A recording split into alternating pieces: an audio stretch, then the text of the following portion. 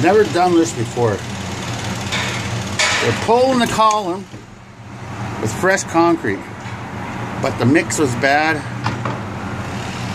So now we are pulling it off. We have a crew to get ready to clean up that freaking mess.